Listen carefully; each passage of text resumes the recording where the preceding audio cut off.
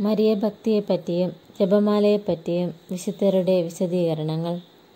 മറിയത്തിന്റെ വാഴ്ത്തപ്പെട്ട ജപമാലയെ ഞങ്ങളെ ദൈവത്തോട് ഐക്യപ്പെടുത്തുന്ന ചങ്ങലയെ മാലാഖമാരോട് ഞങ്ങളെ ഒന്നിപ്പിക്കുന്ന സ്നേഹബന്ധമേ നരകത്തിന്റെ ആക്രമണങ്ങൾക്കെതിരെയുള്ള രക്ഷയുടെ ഗോപുരമേ മരണത്തിന്റെ മണിക്കൂറിൽ നീ ഞങ്ങൾക്ക് ആശ്വാസമായിരിക്കണമേ.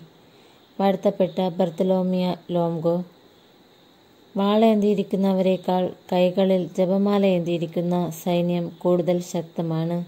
ഗ്രിഗറി പതിനൊന്നാമൻ മാർപ്പാപ്പ. നന്മ നിറഞ്ഞ മറിയമേ എന്ന ജപത്തിന്റെ ഗുരുത്വാകർഷണ കേന്ദ്രം യേശുവിന്റെ പേരാണ്. ചിലപ്പോൾ തിടുക്കത്തിൽ ചൊല്ലുമ്പോൾ ഈ ഗുരുത്വാകർഷണ കേന്ദ്രത്തെ ശ്രദ്ധിക്കാതെ പോകും.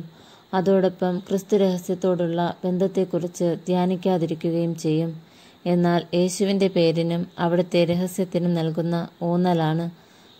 അർത്ഥത്തിൽ പൂർണവും ഫലപൂർണവുമായ കുന്ത നമസ്കാരം ചൊല്ലുന്നതിന്റെ അടയാളം വിശുദ്ധ ജോൺബോൾ രണ്ടാമൻ മാർപ്പാപ്പ. നിങ്ങൾ നന്നായി പ്രാർത്ഥിക്കുകയാണെങ്കിൽ ഏറ്റവും നല്ല പ്രാർത്ഥനാ രീതി ജപമാലയാണ്. വിശുദ്ധ Francis T sales.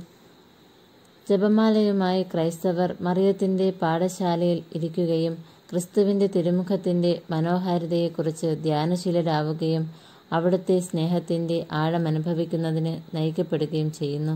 Mister John ball രണ്ടാമൻ. മിക്കപ്പോഴും ഒന്നിച്ചായിരിക്കുന്ന രണ്ട് സുഹൃത്തുക്കൾ സമാന സ്വഭാവ വിശേഷങ്ങൾ പ്രകടമാക്കി തുടങ്ങുന്നതുപോലെ ജപമാല രഹസ്യം ധ്യാനിച്ചുകൊണ്ടും ദിവ്യകാരുണ്യത്തിലൂടെ ആ ജീവിതം ജീവിച്ചുകൊണ്ടും യേശുവും പരിശുദ്ധ കന്യകയുമായി പരിചിത സംഭാഷണം നടത്തുന്നതിലൂടെ നമുക്ക് നമ്മുടെ എളിമ അനുസരിച്ച് അവരെ പോലെയാകാനും ഈ പരമോന്നത മാതൃകകളിൽ നിന്നും എളിമയുടെയും ദാരിദ്ര്യത്തിന്റെയും അറിയപ്പെടാതിരിക്കുന്നതിന്റെയും ക്ഷമയുടെയും പൂർണതയുടെ പാഠങ്ങൾ പഠിക്കാനും സാധിക്കുന്നു.